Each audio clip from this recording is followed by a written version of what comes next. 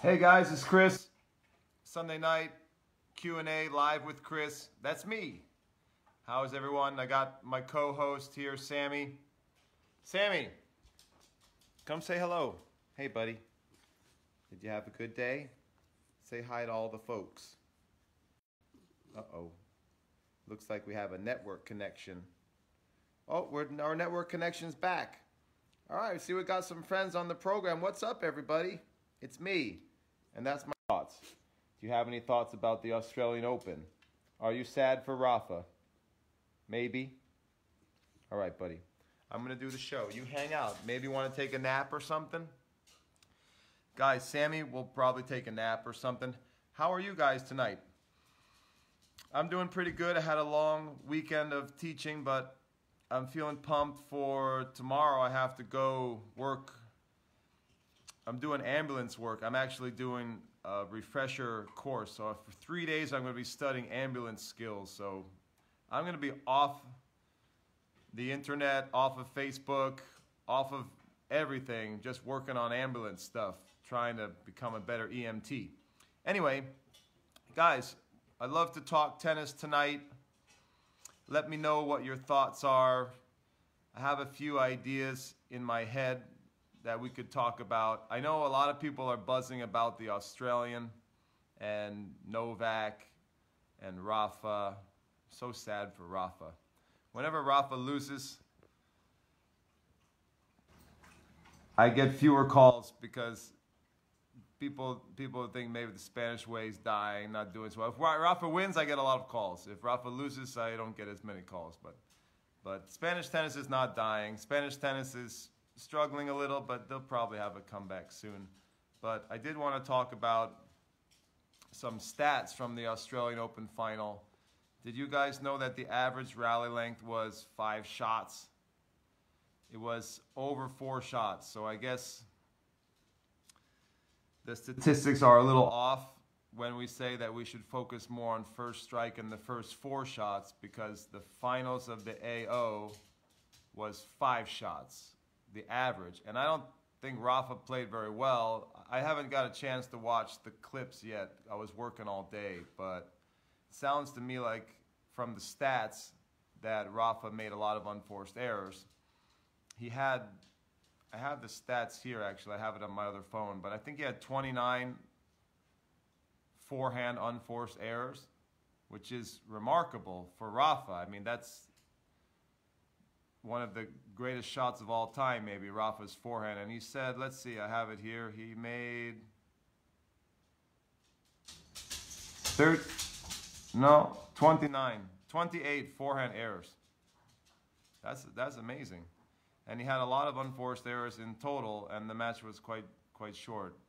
And the average rally length was five shots. So, guys, what do you think about that? Should we be focusing on the first four shots, or is it the first five shots. Now I'm confused because I, my understanding was that the game of tennis is changing and that the first four shots are the most important and we should focus more on that. Uh, I'm being a little facetious, but anyway, let's see who's on the program tonight and we can continue talking about the AO and maybe we can talk about the first four shots theory or hypothesis or maybe it should be called the first five shots theory of training and playing. Let's see.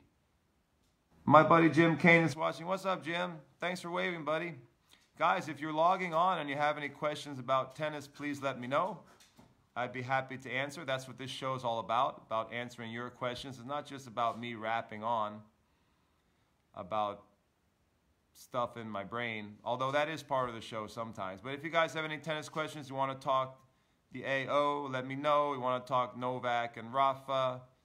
I know that's on a lot of people's mind. You think Spanish tennis is dying? I know I don't believe it's dying completely. I know Spanish tennis is struggling right now. I think they'll probably have a comeback at some point. But we can talk that and if you have any junior development questions, please let me know. That is part of what I do on this program. I try to help families and players from around the world, especially little guys. I'm known as the Prodigy Maker. That's my brand. So especially if you have any questions about young kids, under 10, under 12, under 14. That's one of my passions is training young children and helping them with high performance, helping develop champions. So if you have a little prodigy, shout out a question. Let me know. If you're working with a prodigy, if you're a coach and you work with kids, let me know if you have any questions about technique or tactics or tennis development, junior development. I love talking, especially technique. Technique is my my calling in life, I think. It's working on the hardware of little prodigies. That's what I love to do. I was going through who's on the program, and looks like we've got some activity here. Jacinta Rosas Guerra is watching. Thank you, Jacinto. Jacinto. Thank you for waving. Sounds like you could be a new viewer. I like to get new viewers on the show. Gaju Mangela is watching. Thank you. I hope I don't mispronounce these names. Mike Riggs is watching. I think Mike's a regular on the program. What's up? Guys, thanks for chilling with me on a Sunday night. I'm a little sad because my boy Rafa lost. The Spanish way went down in flames. How can a Spanish guy make that many unforced errors? What's up with that? I guess Novak's just too solid, right? Annie Rockwell is watching. I think Annie's a regular on the show. Ubiratan Luis de Menezes. Menezes. Menezes. What's up, man? Thanks for watching. Appreciate it. Tim Bainton is on the program. What's up, Tim? We got some heavyweights on the show tonight. If you got any questions or comments, Tim, let me know. Donnie Levitt is watching. Donnie's like a regular on my program. This is awesome, Donnie. Thank you for tuning in. Katatoshi Shimizu is watching, another regular on the program. Guys, we have such a great community of intelligent tennis learners on this show. I appreciate all you guys tuning in. Robert Roberto Arala is watching. I think you're a new viewer. Thank you for tuning in. I appreciate it. This is my Sunday night talk show. I answer questions from around the world. I love talking junior tennis, junior development, and I love talking about Spanish tennis in particular. I know that the AO is on a lot of people's mind. Tim Bainton says he's owned mentally by Djokovic the same way after 2010 that Nadal owned Federer. Yeah, I feel badly. Because I was working all all day, so I haven't seen clips from the match yet but I did check some of some of the statistics, and I managed to read a an article by Craig O'Shannessy about the rally length, and Craig says Craig says the rally length is was five shots. The average rally length for the match was five shots, and now now I'm saying what's up? What's up with that? Because I thought the average rally length is supposed to be four shots or less, and those are the most important ones to focus on. This kind of throws a wrench in the whole system here when the when the rally length's going over five, and Rafa was very inconsistent. So I'm I'm thinking on clay, and Rafa's playing better. The rally length's going to go up to six shots or maybe more, and that sort of busts a hole in this big theory. But maybe maybe not. I don't know. Let's debate it. Michael Furman is watching. Wait a minute, that's my online business manager, my OBM, online business manager, Sammy. What's up, buddy? Get in here, Sammy. Come Sammy boy. You're the most popular guy in this program. That's right. You and me. Sunday nights. Look at that face. Look at the face, guys. That is pure joy. When I rub Sammy's belly, it's just pure heaven for him. All right, let's see what we got here. Michael Furman is watching. Hugo Ball Green is watching. I know, Sammy gets all the hearts and love. Maha Vishnu Leon, Leon Leon is watching. Thank you for waving, man. Appreciate it. Getting some folks from around the world on the program. We've got high IQ viewers from around the world, not just in the US. I've got a strong following over there in Shanghai and on the other side of the globe. And I don't know what time it is or what day it is over there, but Australia. I've got some fans on the other side of the globe that like this program. Thank you guys. I appreciate it. Jim Kane says, This is my buddy Jim. Jim, you're back. A very intelligent coach from Massachusetts. And he says, It seems to me that Rafa and Novak had similar journeys back from some medical concerns. Hi, Chris. Novak arrived, perfect 10. Rafa not all the way back yet. Yeah, I, that sounds like what's going on. Bottom line, Novak was magnificent. I have a technique question. Jim, throw me the technique question. I love technique questions. You know that technique is where my heart is at. Novak plays kind of Spanish, doesn't he, guys? I mean, he's solid, isn't he? Isn't he able to rally more than four shots effectively? I'm being a little sarcastic here. But seems to me that Novak is very solid past four shots. I think he can go pretty long distance. What do you guys think?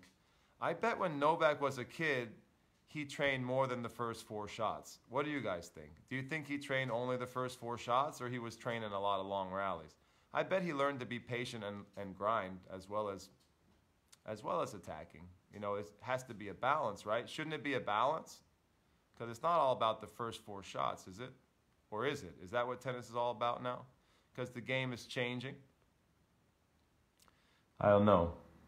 I read another article that said the women's game is totally changed now. It's all about first strike. Is that true? Is tennis all about first strike? Really? I want to see I want to see those statistics. I want those statistics to be verified by someone other than the person who's claiming the statistic. I want to see those statistics verified by an independent third party or second party or some party who's not also who's not who's not I, I want to say selling services and products. Let's just put it that way. All right, Ganesh Kumar is watching. Jeremy Malfay is watching. Jeremy is the star of the show. It's not me and it's not Sammy. It's Jeremy. What's up, Jeremy? I got to catch your latest video, buddy. Jeremy's putting out videos every week now. I got to check that out. I think Jeremy's a young star in the making, in the coaching world. And he's on the most intelligent talk show on the planet and on the internet tonight. Good job, Jeremy. You chose the right one. Larry R. Klein is watching. We got the regular, the whole family's here.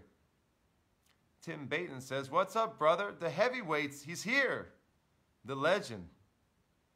Tim, you know what's cool? I have an article by you. I think it's in PTR or was in PTR, and it's about marketing and branding. And I have back then, uh, it's probably from a year ago or something. And I have it cut out of the magazine, PTR magazine, and I kept it because it was so good. And it's about developing your brand and marketing. You, you made a whole list of activities that coaches should do to brand themselves. What an awesome article that was. Very insightful and intelligent. It makes sense because you're now on the most intelligent talk show on the internet for tennis, that is. But yeah, it was an amazing article, and I have it, and I have it to reread. I'm going to reread it later this week. I, I got to get the title. I, I, would I would promote it, you know, and promote the give you a plug or a shout. I'm trying to give you a shout out here, but excellent work. I didn't even know you back then. You were just putting out so much good stuff, putting out a lot of good stuff, and still doing it. Awesome. All right, let's see who else is on the show. Patrick Franco Jr., another regular. Got all, all the friends are in here. Guys, if you have any tennis questions, shoot them out to me. I've been working about 24 hours this weekend doing the grind. Although my grind was a little less because I got my new assistant coach in town, Hugo. Hugo's on the, he was on the show here. I have a new assistant coach from France, and I'm teaching him the Spanish way. So he's going to be one heck of a coach because he's got the French background, and France does a great job, and he's going to learn all the tricks of the Spanish system. So you know, I've had a lot of really talented coaches come to study with me, and I'm sending them out into the industry to do some damage. Like, I have some, some guys who've been working for me the last 10 years, and they're moving up the ladder. They're really starting to be leaders. They're becoming leaders of the industry. I had one coach who worked for me here who has now had a player in the Australian, made the second round of the AO. So proud of that. I had another coach who studied with me a long time here, who is the head of Saddlebrook Girls ITF. And I have some other coaches here. I have another coach who's one of the best coaches now, junior coaches in New England coming up. A lot of guys came to study with me, and now they're making their mark on the tennis industry, and I think that is awesome. It's nice to see guys who I invested a lot of time and energy into moving up the ladder in the tennis world, you know, becoming big shots of their own. I think that's so cool. All right, Gloria Argul is what? Wait a minute, Gloria. She, she's on my ambulance code. What's up, Gloria? How are you? I hope you're feeling better. I hope you had a good, was it surgery? I know you were, you were feeling ill. I'm sorry you had to take that medical leave. Salifu Muhammad is watching. Salifu, you're a regular now on the show, buddy. Salifu is one heck of a tennis player, guys. One very talented tennis player and a very good coach. Tim Bainton says, I'll ask a question about growing. Wait a minute, this is not a business show. This is a tennis show. All right, you can ask it because you're a big shot. I'm going to take it. I'm going to take the question. Chris, you have this great space in Vermont. Take a sidebar for a second and educate coaches how you do that. How do you find a space and how do you make it successful? Well, so I bought a club. How cool is that? Is that every coach's dream? To buy a club, a little piece of their own, with their own tennis courts. And I happened to get my own clay courts, you know, my red clay. I had to have the red clay, you know, the Spanish way, the European way. So I have indoor hard and my own red clay courts, which is like the greatest dream for me. I'm telling you that I'm in paradise. I'm in heaven, absolute heaven, when I'm at my club in Vermont. So I can't be there full time, but I have some coaches working there, and I have some other coaches interested in moving in there, and we, we run some light programming there, nothing really serious. I'd like to actually blow it up more, but we're still sort of in the renovation phase because I bought this club and it was completely abandoned. It was really in bad shape. And it wasn't really for sale. There was like a dude leasing it, and I just came in with an offer and I said, I, I, I gotta, I want to make you an offer, and would you be willing to sell? And it just goes to show you that sometimes, you know how they say everything's for sale?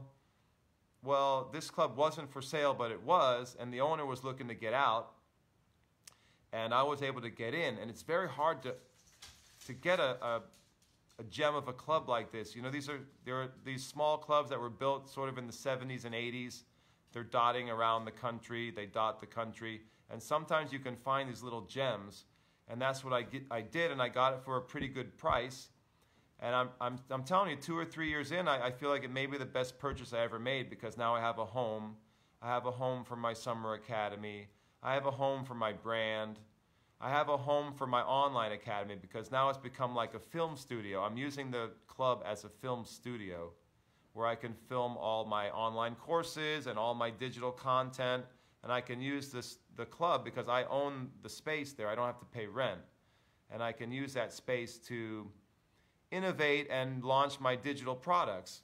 So that that I think is really exciting to use the club as a film studio, a, a digital content studio, because I know a lot of guys who are branching out online are actually struggling. They have to buy court time sometimes, especially if they're from a cold weather region.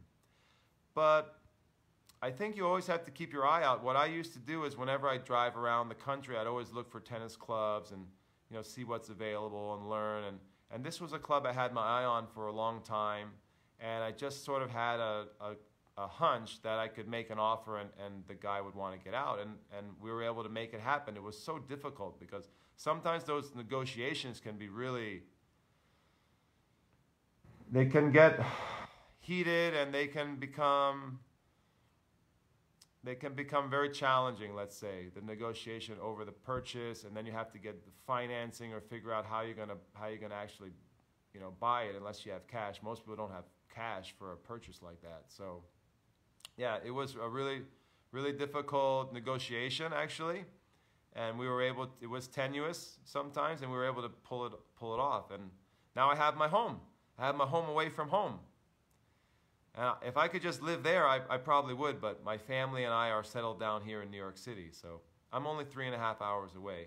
I don't know if that answered any questions, but I just rapping about my club. But, all right, what's Michael Furman talking about? All right, Zoe Joy, Zoe Jew, Jew is watching. Hey, Zoe, that's that's my buddy. Hey, how are you? Jim Kane says, the young female player you worked with was impressive with the parabolic forehand. Was that on the show today? Yeah. Hey, that was that was a good show, right, Jim? We did two shows to today, guys. Do you have any questions about my reality show that we did today? We did two of them. And I thought they were very good, very good shows. I don't know why I don't have 100 or 200 live views on that. we get a, a trickle of views. I think those shows are so great. Maybe I'm biased, but I think they're awesome. And I don't know many coaches who are filming their live lessons unscripted and throwing it out there for the world to see. I don't know many guys doing that. I'm doing that, and I think the shows are fantastic, especially if you're interested in technical work. We're doing a lot of technical work right now. Let's see what the question is. Yeah, didn't she have a nice fade at the end? She had a nice drift. That's a, that's a new term, new technical term. We got the drift, we have the inverted finish, we have the parabolic swing shape. These are all my technical terms that I've been using, and I have them trademarked. No, I'm just kidding. They're not, they're not copyrighted or trademarked, but I like them. How important was it for my student for her back leg to come around on the landing to help her beautiful forehand? No, Jim, ask away. Ask as many questions as you like. Yeah, her back leg has to come around. She has to either pivot around and land square or she can jump and land square. And those are the two options because that helps the parabolic swing shape. When you get the hips rotating like that and the foot coming around, that helps the round swing shape, the circular swing path. And so one of the tricks that I learned when I was building the forehand over the years was that a lot of the kids would come to me really stiff and linear. And I needed to break that motoric habit I needed to break that muscle memory. And the way that I broke it up is I told the kids to jump. And that sounds kind of nuts, but I, I, I, got the kids jumping in place, but with balance. And I got them spinning their hips. So I found that if I could get the kids to spin their hips in midair, which is very, I would say, unorthodox and very much against the classic traditional approach to get the kids airborne but if I could get them airborne, I could get their hip to spin. And if I could get their hip to spin, I could promote this round parabolic shape, like throwing a hook in boxing. Pa! You guys know I like to box. You know, like throwing a hook. And if I could get that, I could break that old muscle memory. I could break that motoric habit, that linear stiff swing that you see so often, in, at least in the American in America, in the US, you see it so often coming out of red ball and coming out of orange ball. And so that's sort of what I did. That's the innovation that I did. And I, I took a risk. I just started, started trying it with certain students. And I noticed that it, it also helped to loosen up their arm and it helped with the elasticity. That's sort of how it all started. Jeremy Spitzer is watching. What's up, man? I think you've been on the show before. I appreciate all you guys tuning in. Let me know if you have any tennis questions. Drexler Ingua Dai is watching. Another regular on the program. Must be smart if you're tuning in weekly. Michael Furman says, research about the technical game at prodigymaker.com. Prodigymaker.com is my blog, and it's my vlog, my vlog. It's my blog, and it's my vlog. And it's where I house all of the knowledge. I'm dropping all the knowledge on prodigymaker.com, trying to make parents, coaches, and players smarter around the world. Smarter and more wise, more sagacious. Jerry Malfay says, Hey, Chris, thanks for the shout out. Jeremy, if you're on this program, I think you've got a future, man. I, I'm sensing something great in the future for you in my crystal ball. You're like one of those guys who come study with me and then ends up leading the industry. Tim Bainton says, Coaches have to know how to bring people to their courts. Right. Well, I, I, I'm still growing this club. You know, I'm looking right now for a coach to, to take over the club in the wintertime because I'm there in the summer and I'm blowing it up in the summer. So I'm looking for a guy, an independent coach who wants to come in and actually run programs in the winter. I have a guy coming in to interview next month. I'm very excited about that.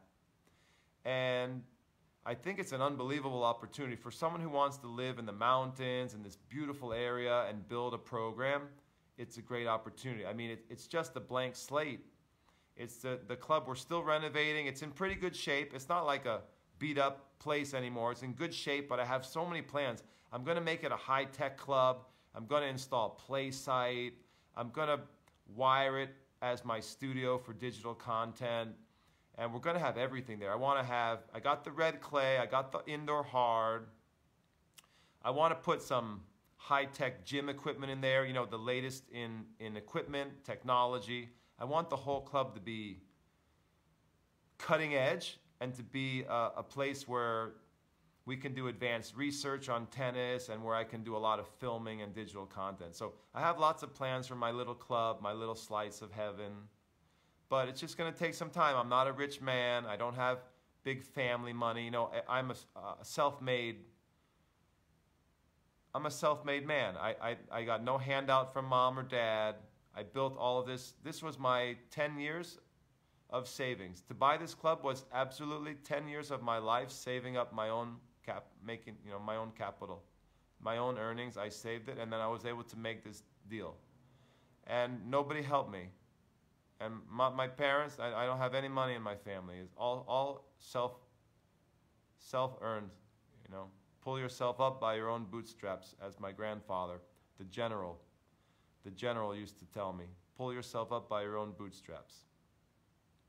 So this club is the culmination of 10 years of me saving all of those private lessons, all of those group classes, saving up my money and then making that purchase. And now I have the dream and now I just have to sort of digest the club and then I have big plans with the technology, like I said, but the technology is expensive. It's expensive to be on the cutting edge, so I have to save up a little cash, and and then I'm going to make a new investment in the club and really wire it, wire it so I can inspire, wire it so I can inspire everyone who comes there, and inspire people from around the world with the digital content that we're creating. Nicholas Wagner is watching, there's a guy who studied with me, and there's a guy who is starting to lead the industry. Great junior development coach. I think there's a bright future for this guy, Nick Wagner. You heard it here first. Guy's got some talent. Carlos Carrera is watching. It's funny when you have a lot of young coaches who come to study with you and they spend time with you, you start to see talent just like you see talent in juniors. You start to see talent in coaches. And I think that's kind of interesting. You can see the future sometimes when you see a young coach. They they have certain way a certain way about them, a certain learning style, and they they if they have a curious mind and if they're intelligent and they're passionate, you can start to see the future that's coming down the road. I think I've been able to look into my crystal ball and predict some coaches who are now starting to lead the industry, which is pretty exciting. Orkan Gassimo is watching. What's up, man? Thanks for joining the show. I appreciate appreciate you joining. We're just chilling tonight. We've been talking a little bit about technique. We've been talking about Djokovic and Rafa. My co-host Sammy, what's up, Sammy? He's just chilling. He gets to take his nap. I'm gonna have to take my nighty night soon too because got a big day tomorrow working with the ambulance stuff Tim Bainton says, spot on, man. Thank you. Angel Lopez watching. I told you the heavyweights are all coming out. Angel Lopez, big heavyweight from California. Legendary coach from California. What's up, Angel? How are you, my man? Any thoughts, any questions? Post them. We'll get it going. We'll get after it. We'll get after it. We'll get it going. Nate Pagel is watching. There's another dude, man. That's what I'm saying. There's a dude that studied with me. He was here.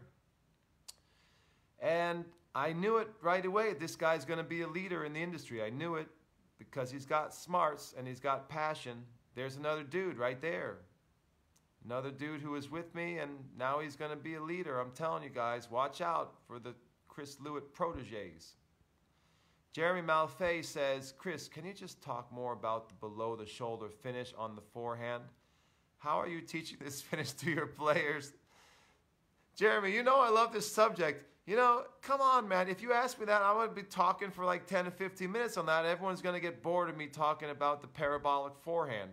All right, but I will because I like to answer everyone's questions. I figure you have progressions maybe or tips as opposed to just saying finish below your shoulder. Dude, are you watching my shows? That's all I talk about all the time on my shows.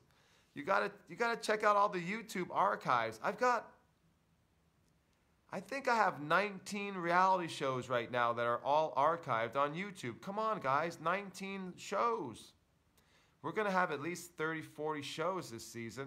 And then we're going to have season two. Season two is going to be amazing. Guys, is this crazy? I almost bought a drone. I was at Best Buy and I almost bought like a thousand dollar drone because I want to have this cool filming setup where like the drone sort of flies around me like some sort of matrix deal and we get all these different angles. It's going to be awesome. I think I'm going to go buy it. I'm going to go buy this drone so we can have better content. What do you guys think about that? That's dedication. That's commitment. Okay, getting back to your question, Jeremy. I got a thumbs up on the drone, I think. I figure you have progressions or maybe tips. All right, all right. I have, of course I have it. Should I get my racket? Hold on. I got to get my racket, guys. All right, I'll go. You guys will go with me. All right, I'm mobile. I'm mobile. Get my racket. What kind of tips do you want, Jeremy? Tell me what you need, man. I don't know what you need. Oh, Sammy's up. Let me get a racket here. All right, I got a stick. What kind of tips are we talking about here? Guys. All right, I'm going to set this up. Hold on. Let's see what we got here. Okay. Can you guys see this? All right. What's up? Right, so. Guys, you gotta stop teaching the follow through up around the neck to the ear, like the you know, like the listening to the phone call thing, or like checking, what do they say, the the listening to the phone, or like putting your watch by your ear. That's gotta go. It's gotta go bye bye. It's old school. It's dead. Just let it go, everyone. Just let it go. Like the song in Frozen. Let it go. It's over. It's like bell bottoms. I guess they're coming back. Or it's like, you know, something really old that should be put away in a closet or in an attic. You know, like boxed away in an attic. Look, this is what I mean. This thing. Stop teaching that. It's over, people. It's done and gone. The way to finish, can you see that? It's kind of like like that. You know, there or there or there. Anywhere around there. Can you guys see that? That's where it's at. Stop teaching this. Especially without extension. I have so many little kids from Red Ball. I'm seeing dozens and dozens and dozens of maybe it's because I'm here in New York, maybe not. I think it's around the world, but I'm seeing it here. And the kids do this. How many kids you have do this? It's stiff, it's tight, doesn't even have good extension. I mean, at least give me this. The extension and then the finish, you know? But man, it's I don't understand what's going on. Why can't we change? Why we teach red curriculum like it's 1975, 1980? I don't, I don't get it. And then they got to learn good technique later, advanced technique later. Don't do that. Just teach the right technique. Teach advanced technique when they're little. So, what are my tips? I don't know, Jeremy. Ask me something specific, man. Like, there's too many. It's too complicated because it depends on the kid. I told you, you got to get the hips. You got to get the legs jumping a little. That helps you got to go in there. The biggest tip, I don't like the word tip that much, but the biggest piece of advice, you know, tip is sort of frivolous or doesn't seem like weighty enough. Like, but fine, let's say tip. The biggest thing I can I can tell you is to get this elasticity is you got to go in there with your hands and you got to touch the kids. And I'm not saying like a in a perverted way like you know like a pedophile. I'm saying you got to get in there and manipulate the player's body. And you know they do this more in europe where the coaches aren't as fearful of lawsuits and i'm being totally sincere now. There are many coaches in the us have been falsely accused of touching the kids improperly it's really scary because of tort law here in the united states it's very scary for liability when you touch a player. And to be honest, I think it's really hurt our technical development because there are many coaches who try to teach from a distance and they try to use words and they try to use imagery. And in my experience, in the field, in the trenches, that doesn't work that well with a lot of kids. Kids actually need tactile teaching. They need to feel kinesthetically what to do. And in my experience, that's much faster. If you can teach a kid with feel and manipulate their arm and manipulate their body the way you want, the learning curve is much steeper, it's quicker. They learn more faster. And I think that honestly, in the US, a lot of coaches don't teach like that. They're worried about liability and probably re, re, realistically, they should be. They should be worried about liability. I remember in one of my first workshops, I did a PTR workshop, certification workshop. This is probably going back 20 years. And the coach told us a story about how he had been accused by a young player of improperly maybe showing her some stuff and she felt uncomfortable and it actually almost ruined his career. And I always remember that. That was my very first exposure to coaching in a, a certification workshop and he, he was talking about how his whole reputation had been ruined. I don't know if it rightly or wrongly, but but he said he felt it was unjustified, and it was really scary it was a scary experience for me as a young coach to hear that that just an accusation could have could destroy your reputation. So you have to be really careful how you touch a player. And I always have I usually work with an assistant, so I always have another coach present on court. I think it becomes a lot more dicey and scary if you're working with a player alone somewhere. And you have to be really careful about how you touch a player. You should ask permission, and you should not touch a player. I think so much with your hands, so much you maybe you can usually I, I maybe touch them with the ball or my racket, or I, I try not to touch them directly. But seriously, in Europe, the coaches are much more hands-on, and I think because tort law is different in Europe and they have less fear of lawsuits, you see a lot more coaches that are touchy-feely. And actually, kind of uncomfortably so. Like I've had uh, European coaches come to work for me, and they get like very close to players where I have to actually talk to them and tell them, "Look, man, this is the this is America, man. You can't touch a player like that, or you know, you, you can't do that without asking permission." And they're like, "What? What? We do it all the time back home." I'm like, "Well, you know, you can get sued here for that kind of stuff." And anyway, what's my point? My point is that my biggest tip for you, Jeremy, is, is you got to get in there either with your hands or with somehow physically manipulate the players. And that is the absolute fastest way to make technical progress. And I think it's something that a lot of coaches don't stress, a lot of coaches don't talk about.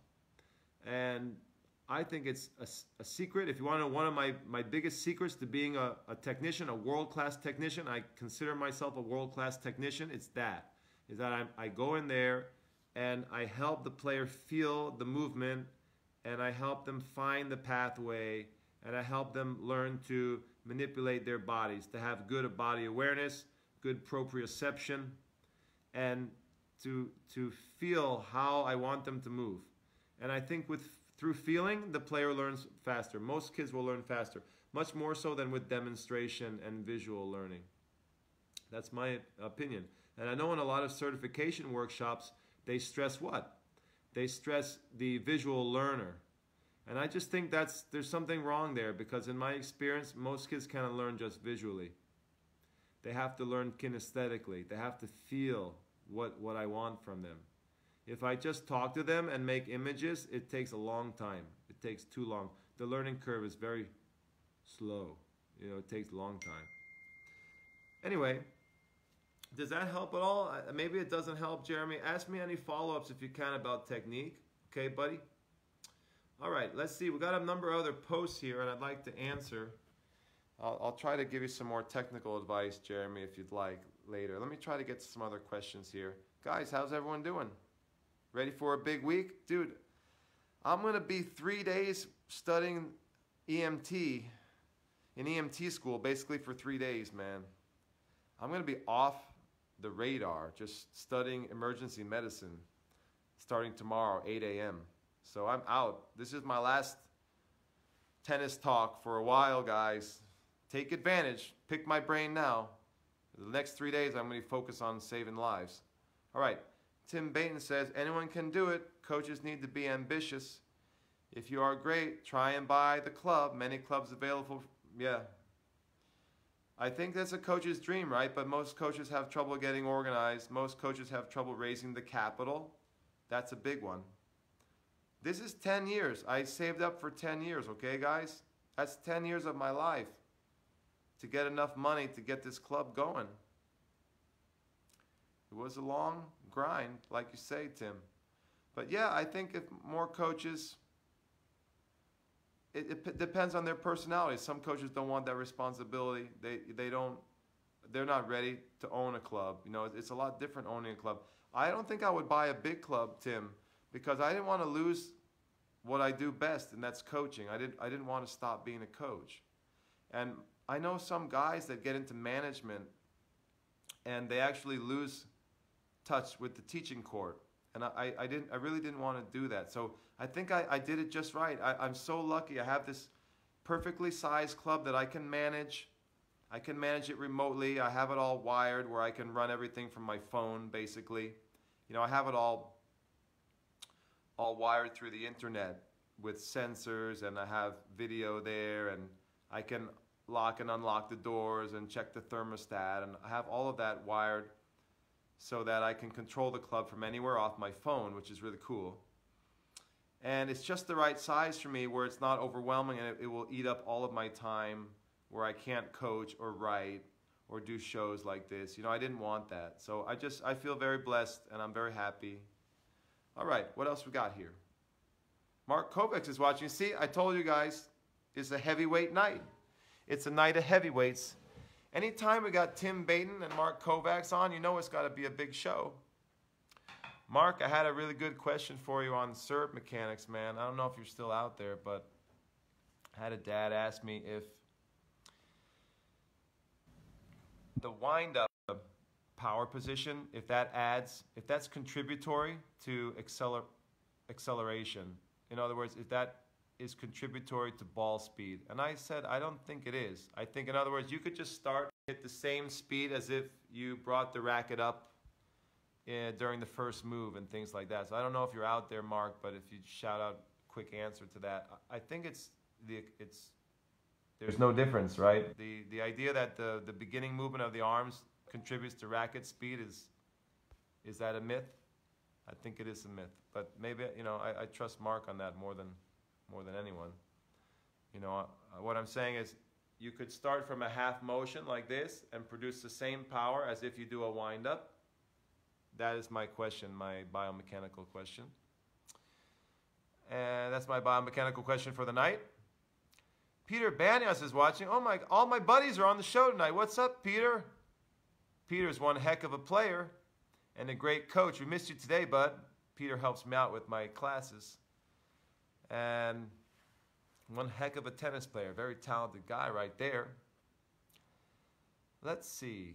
Michael Furman says, watch our young players progress on YouTube. Yeah, so all these shows, this is my Facebook show, but we have YouTube shows that are all archived on our channel. It's at YouTube forward slash Chris Lewit. They're all archived there. And like I said, we have already 19 shows archived. You can watch me you can binge watch Chris.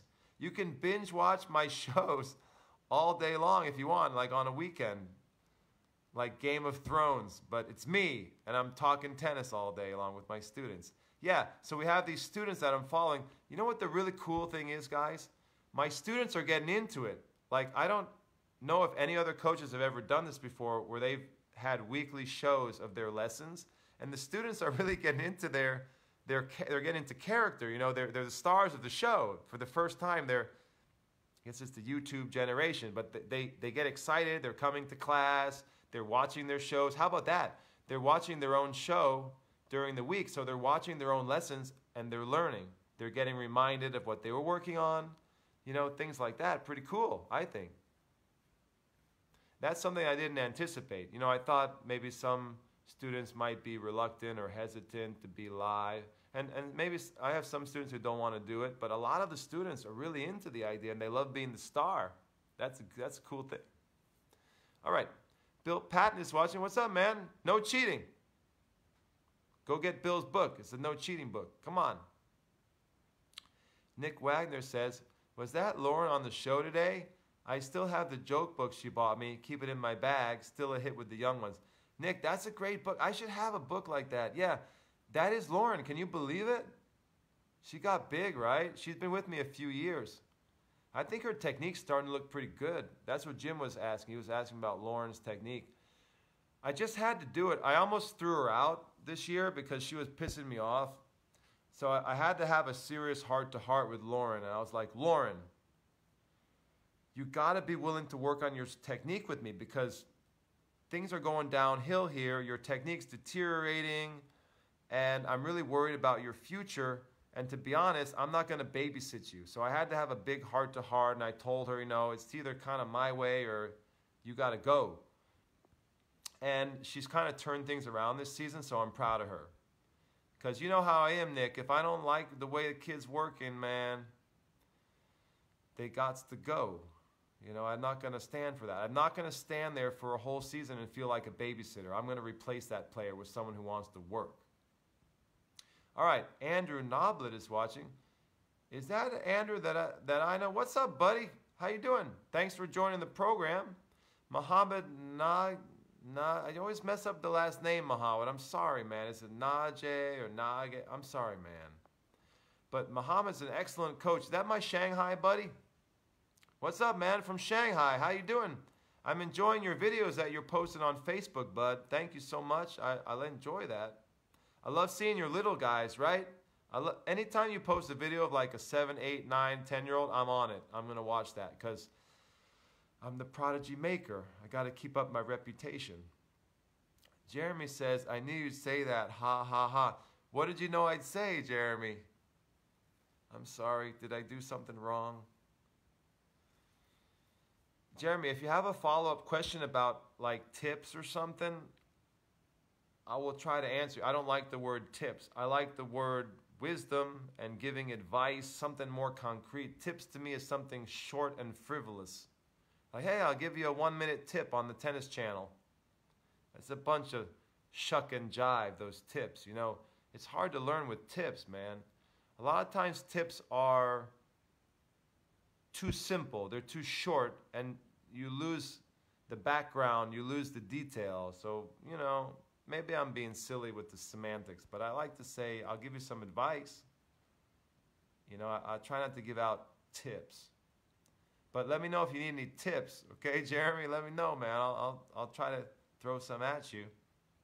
I try to help with the forum, but maybe ask me something specific, like, I don't know, how do you get that? You got to come over here. Jeremy, you're not far away, right? You're in the Northeast. You should come up here.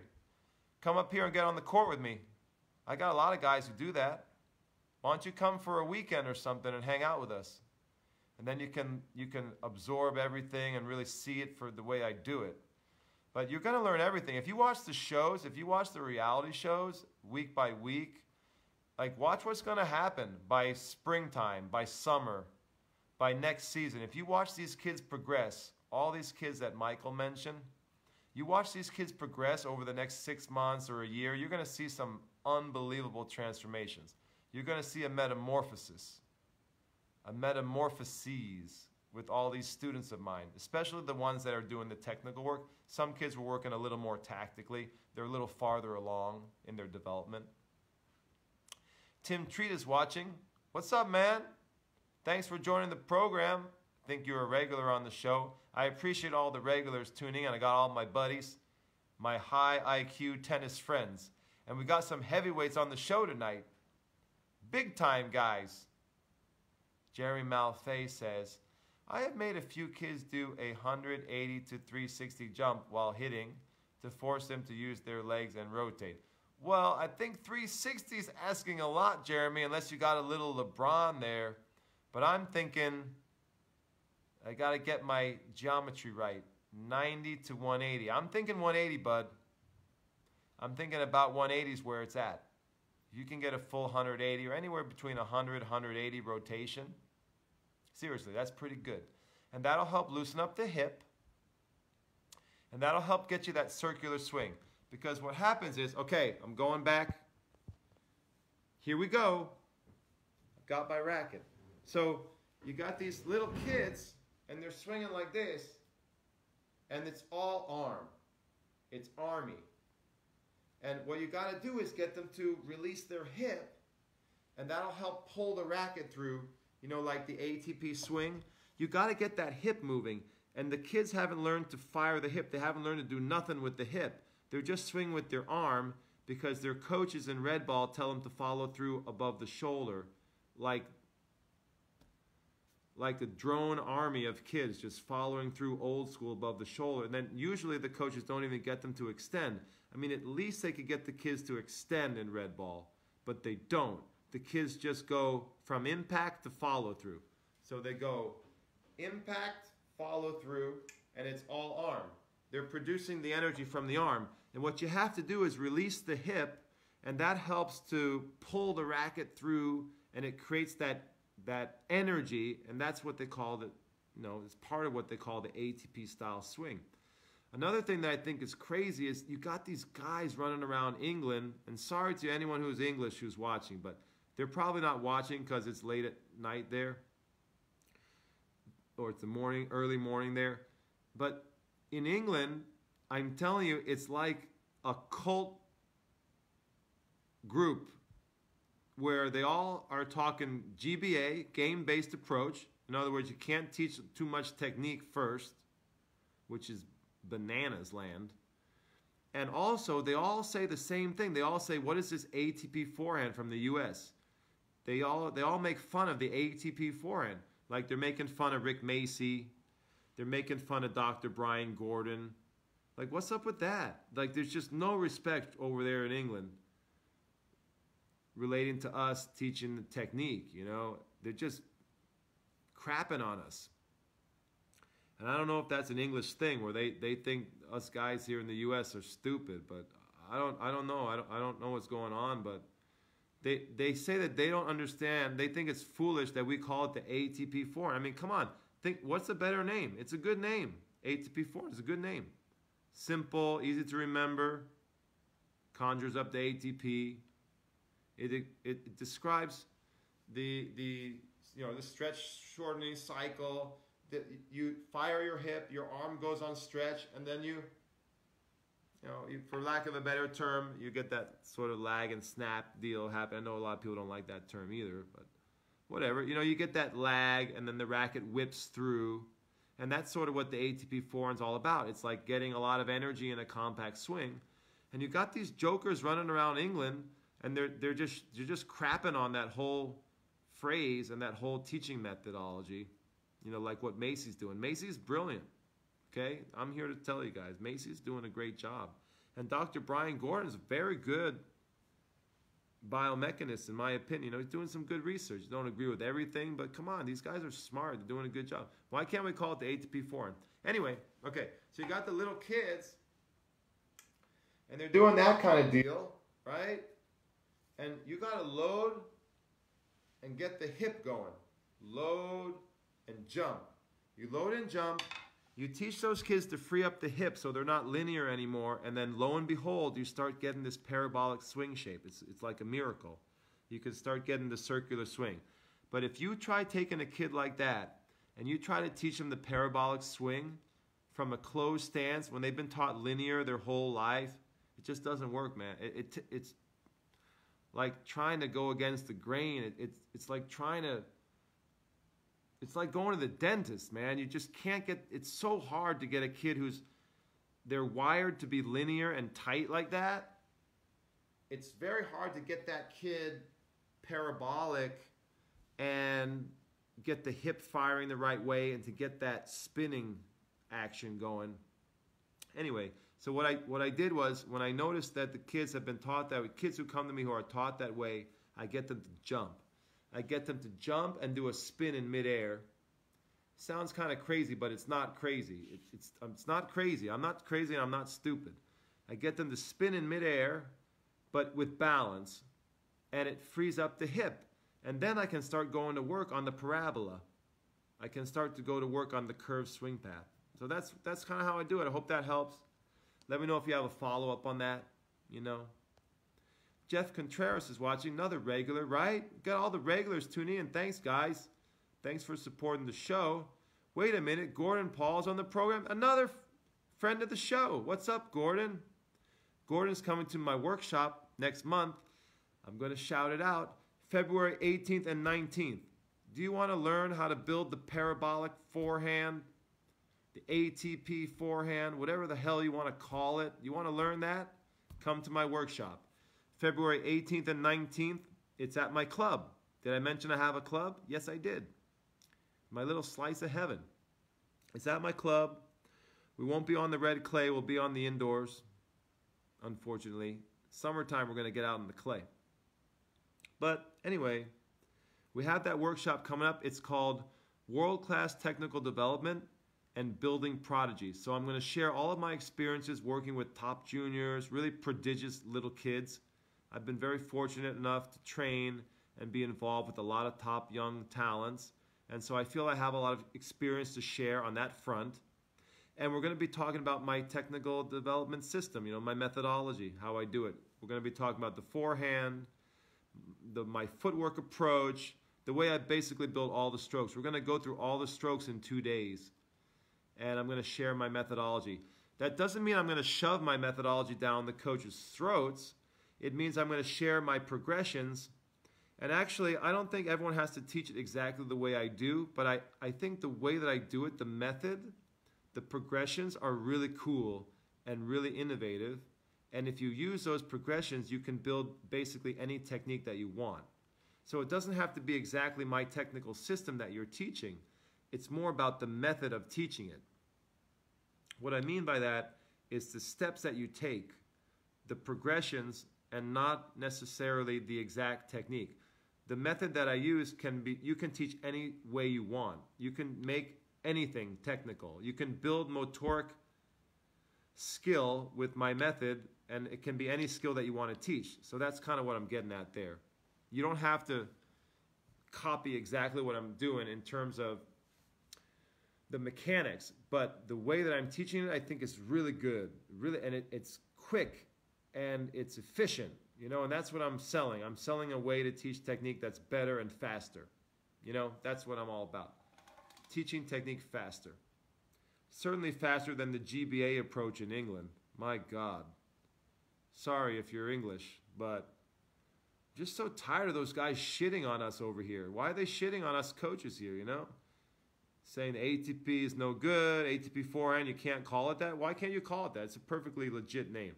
Why can't you call it that? It's a perfectly good name. There's nothing stupid about it at all. And it makes sense. And shitting on us here in the US that we focus too much on technique, like Rick Macci's a shitty coach or something. Come on, he's a great coach and he teaches a lot of good technique to young kids. He does a really good job, in my opinion. Is he perfect? No. Is he a legend? Yes. Is he maybe one of the most dynamic coaches, charismatic coaches I've ever seen? Yes.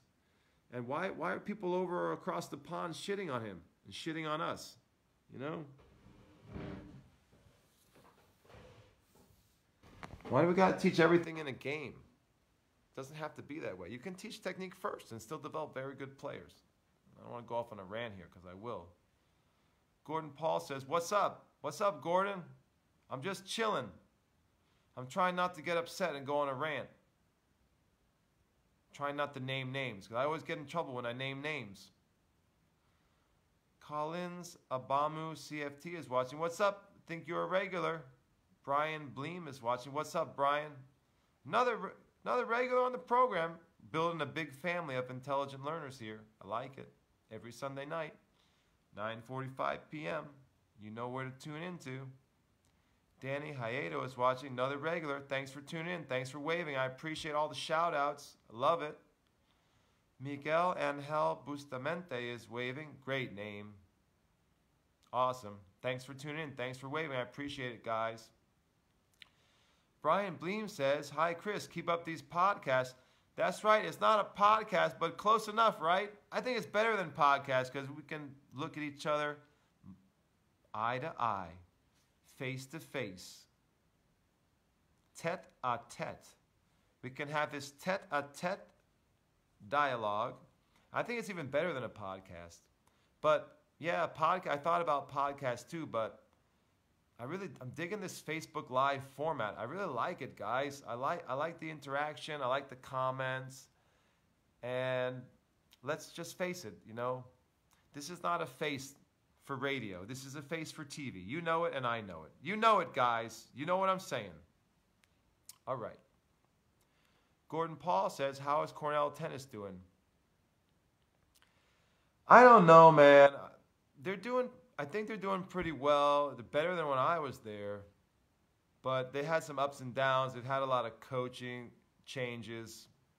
That's a good question. I got to catch up with that. I'm still in touch with my old coach, but they've had a lot of turnover in terms of coaching, as far as I know, and they're not dominating the Ivies. You know, I'm so impressed with Columbia, Harvard, Brown had a great run for a while. I, would love to see Cornell make a run and dominate the Ivies, but they just can't seem to get their act together. I don't know what's up with that. You know. Brian Bleem has a question. Is it a technical question? Yes, that's good, Brian, because that's my passion. Technique, the hardware. I like software, but I love hardware. Could you go over the two-hander grip that you teach? Yes, absolutely. I will do that because I have my trusty racket here. It's actually my son's racket. All right, let's do that. Jeremy, I'm not going to have to pass the USPTA grip exam again, am I? All right, here we go. All right, so the right hand, it's weird because on Facebook it comes out, it looks like I'm holding my left hand, but this is my right hand. All right, so that grip on the right hand the dominant hand for a right-hander, obviously, should be continental, right? So everyone has kind of a different variation of continental, but you know it should should be like a uh, volley grip, and it should be also the slice backhand grip, and that will be the usually that is the two-handed grip for the right hand, the dominant hand. Now you have some options on the left hand. For the non-dominant hand, you have kind of the traditional Eastern, where you shake hands with your left hand. And that's pretty classic. You know me, I like to go a little more modern, and I, I like to encourage some of the kids to go a little more semi-Western with the left hand so they can get more spin, more RPM. So that's kind of where it's at right now. I don't know what the next technical evolution will be on the two-hander. I'm waiting for. As I've mentioned to you guys, I think the two-hander hasn't changed that much compared to, let's say, the forehand, the ATP forehand, which I'm not allowed to call that, or all my all the people in England are going to call me stupid or stupid. You can't fix stupid, can you? I, I don't know why I can't call it the ATP forehand. It's just a perfectly good name. It's very short and simple. It's concise. I like it sends a message, but I'm not allowed to call it that. I'm stupid. I'm stupid if I call it that. Anyway, so does that help answer? The right hand is almost always in the continental. You see with a lot of girls, sometimes they hold a forehand with the right hand. Or you see a lot of young kids, they don't change the grip to continental. I think that's a mistake. I think you should try to hold the right hand in in continental fair enough, pretty basic. There's actually some great articles on tennisplayer.net about the different backhand, two-handed backhand variations. I encourage you to look up that resource. It's called tennisplayer.net. It's a wonderful technical resource. A lot of my technical underpinning as a coach has come from Tennis Player and John Yandell. John Yandell has been a huge mentor for me and he's a very intelligent guy. Another, I would say, very high IQ tennis mind. And John Yandell is a brilliant analyst of technique, and he published and has he publishes and has published tennisplayer.net over a decade now, probably longer. I'm thinking maybe almost 15 years. And it's absolutely hands down the best technical resource I think you can find on the internet. And I'm not embarrassed or shy to plug it because it's helped my career so much, helped my understanding of technique. He has a lot of high speed video footage there and a lot of very good articles from biomechanists and leading coaches. So some of the people that I mentioned, like Rick Macci and Brian Gordon, people like Mark Kovacs, and many other leading coaches and tennis minds have contributed to tennisplayer.net. I've written myself many articles for tennisplayer.net, but it has a technical bent. It has a technical focus. So if you're interested in technique, I encourage you to look into that resource. And I remember on tennisplayer.net, there's a, a particularly good article by John Yandell on the two-handed grip variations, exactly the question that you had. Tremendous article with animation, video animation, and the gist of the article is that the grip structure will affect the arm position at impact. So John Yandell was making the case that, for example, for some of the women that hold the forehand grip with their right hand, a lot of times they don't extend as much. They don't get as much extension through the through the ball, and things like that. So there there are some interesting connections potentially between the grip structure and the arm position at impact, things like that. Uh, so check out that resource if you if you're able to do so. But basically, those are the the grips. I don't know where the two-hander's going. What do you guys think? Tell me this. Is this crazy? Oh, two-handed backhand. When are we going to learn to follow through low? You know, to get sort of like a low finish. When is someone going to innovate and try that? Like the way it is on the forehand with the inverted finish. Is someone going to try that with the two-hander? Haven't really seen it yet. We start to see some follow-throughs to the side of the shoulder. You see some some players finishing across, but I'm waiting for the next technical evolution on that on that front.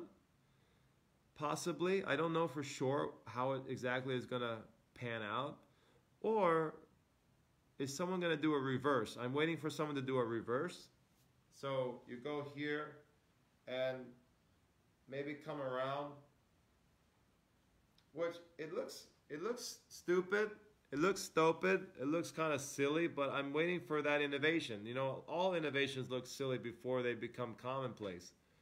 So I'm waiting for that when you're late. If a player can reverse the two-handed backhand, I'm looking for that. And I'm looking for someone to turn the finish down, to invert the finish with the two-hander. No one's doing that. And it may not be tech technically possible or biomechanically possible, but I'm looking for some change, some innovation. The other innovation that I, I've predicted is that more players may switch to a one-hand forehand on both sides. So you have a modern right-handed forehand and a modern left-handed forehand. Dare I say ATP forehand? You have it on both sides. And I have this, I've been working on this where we have this style of holding the racket. So I was on Facebook and I call this the preacher grip. This is kind of crazy, guys, but it's where you, you hold the racket like you're praying, prayer grip, preacher grip. And what it does is allow you to have two forehands with a normal racket without losing, without having to lose part of the racket by choking up. Like normally with two forehands, you have some of the butt caps showing. Uh, players that have two forehands historically. So what I'm looking for are players who are innovating with this preacher grip, something I've been working on, kind of experimenting with. And then you could slide up for this side and you can slide up for this side, like when you're returning serve. And that way you don't lose an inch or two choking up for one of the forehands, right? So I call it the preacher grip, and the ready position would look something like that. You know? And the thumbs are on top, like that. Like I said, kind of like you're, um, a little bit like you're praying, right? So you slide up for, let's see, so on this side, okay, so this way, slide up. This way. Oh, that's my backhand. Okay. Now this way, lefty. It'd be like that.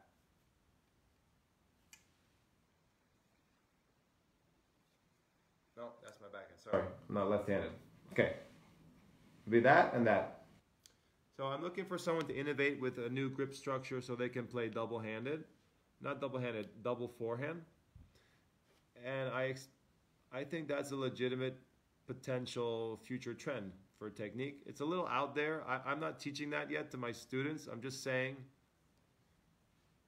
I, I, wouldn't be afraid to do it. If I can convince a parent to allow me to teach uh, two forehands, I'm going to start teaching two forehands instead of a two-handed backhand.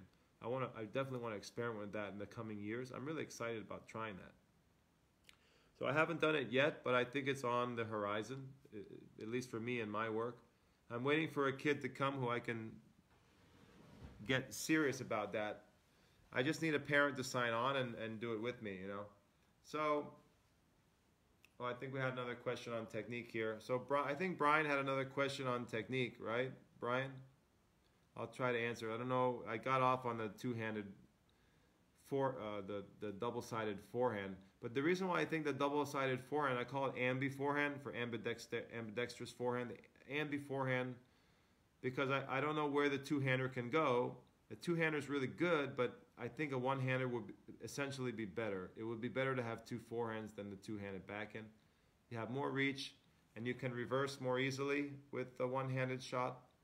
So I think there's some potential for two forehands, left and right, but no one's done it yet. It would be really futuristic to see that. There, there are a few players on tour right now. There's some guys at the futures level who do that and also serve ambi, serve both arms, serve righty and serve lefty. And there are, there's one or two, I know at least one guy on the challenger circuit, so that's all the way up to about 200 in the world, who are playing, who is playing ambi, two forehands. So it, it is possible to do it. I just want to see it done more frequently, and I want I think it could be a, a future trend for technique. So that's maybe off topic, but you were asking me about the the backhand, you know, the two-handed backhand, and I see that as a potential evolution for the two-handed backhand, the one-handed forehand. You know, actually the two-hander actually evolving into a, a forehand. Anyway, I you know I just uh, thinking outside the box here. So Brian had a technical question. I'll try to get to that. What do we got? Brian says, how about the reasoning for separating the pointer finger from the middle finger on the serve and forehand? Okay, so we got, let's see. So Brian's saying, separating the pointer finger, is that the index finger, from the middle finger. Yeah, so I think there probably should be a spread there. I think every player is different. So the way you hold the racket is with your hand is a very individual thing. And I don't think we should dictate that too much. I would tell you that I always try to include more control, but if what I don't like is when a player fists the racket, like kind of hold it like a fist. You know, I like to see a little spread in that finger. Absolutely. So I, I think that's what you're asking, and I think that's good advice. I don't know where it comes from, and I don't have any sports science evidence that that gives you more control. It's purely anecdotal, based on what good players have taught me, have shown me, and what people that I've studied with have told me, and what I myself, I'm a pretty high level player. That's the way I like to hold it as well. So that's all I can tell you. I like to teach technique based on evidence, but this is probably an area that there is no evidence, there's no data or research. It's more anecdotal evidence. I guess that is a form of evidence, but it's not scientific. So I would say yes, you don't want to fist the grip too much. That being said, if you had a really talented player and that's the way they like to hold the stick, they might know better than you, man.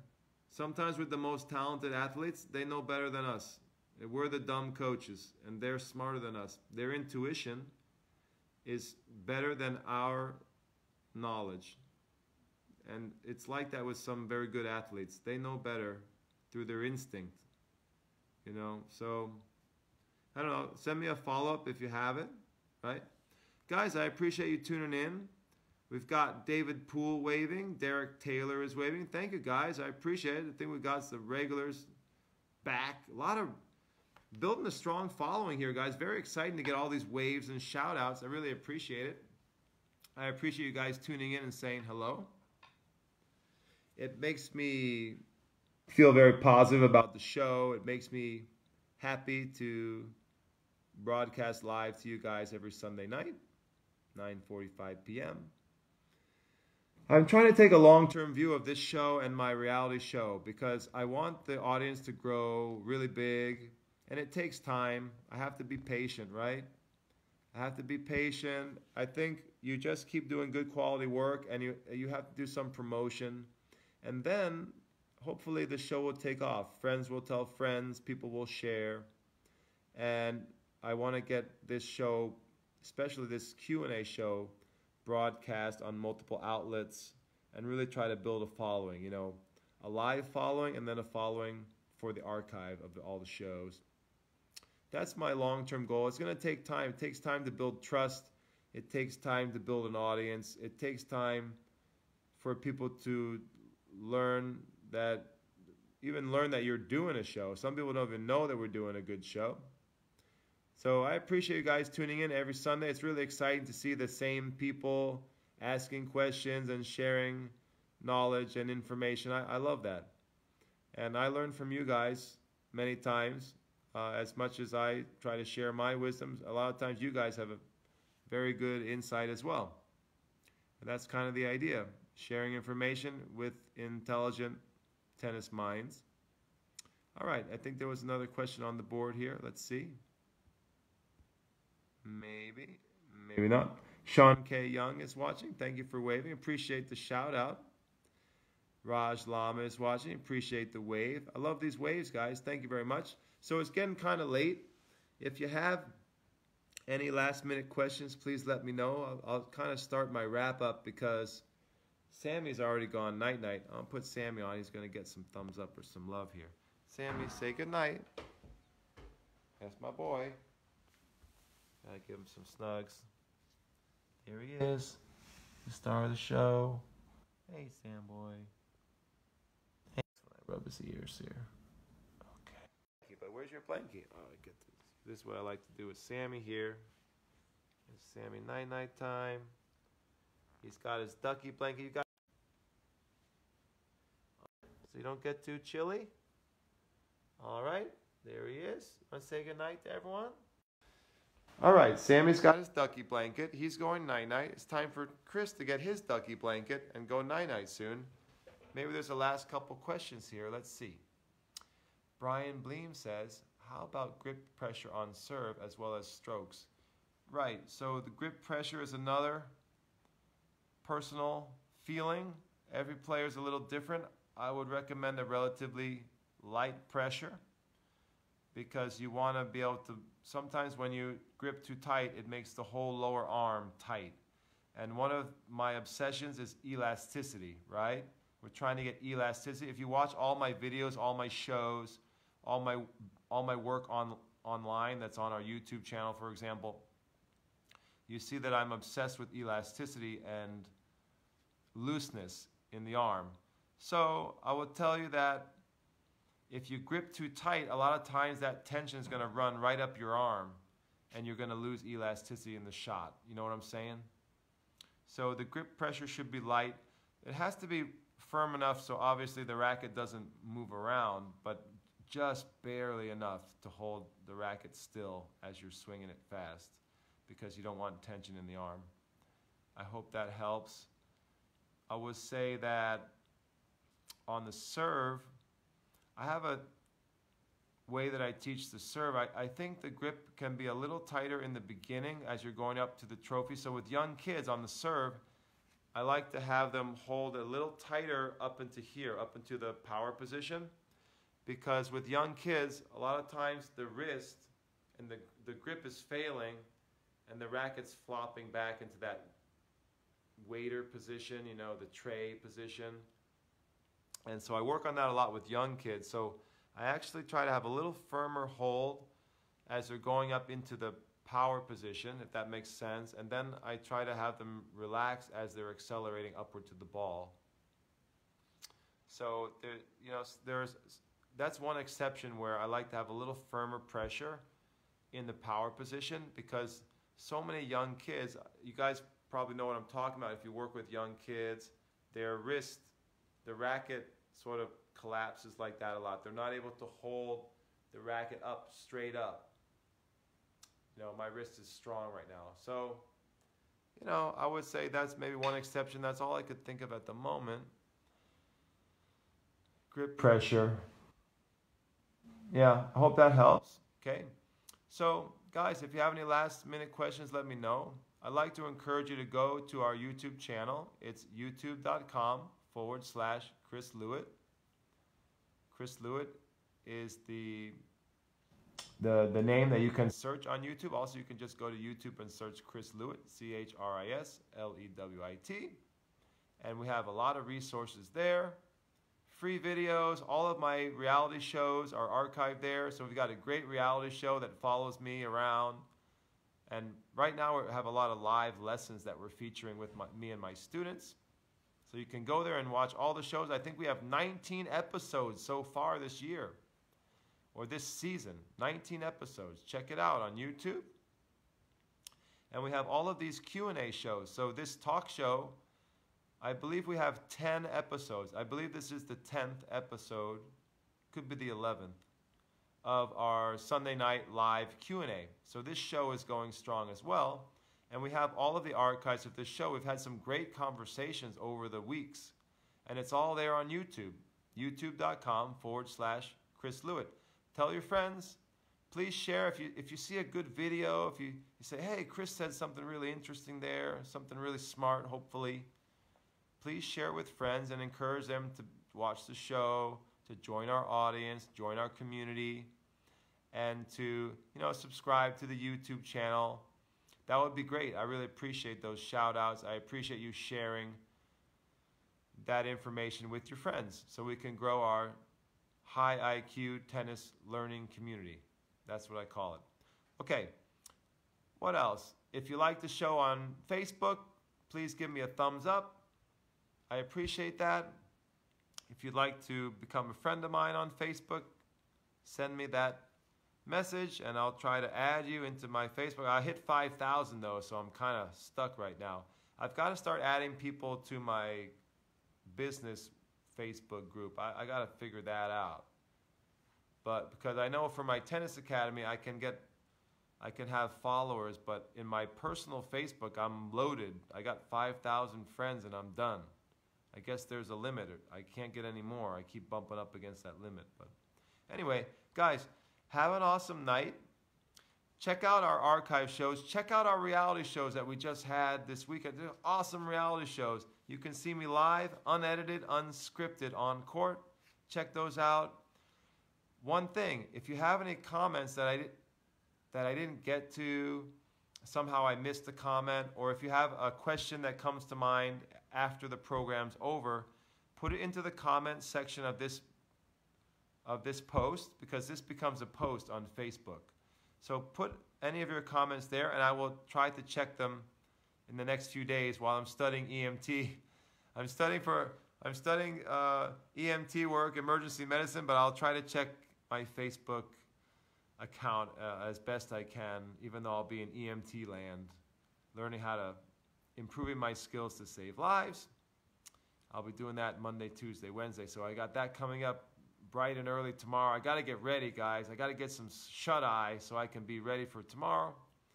And I will try to check the postings here and the you know the comments and uh, follow up with you guys. So if you have any questions that we missed, please put them on the Facebook post and I will answer them. I try to answer everyone's question.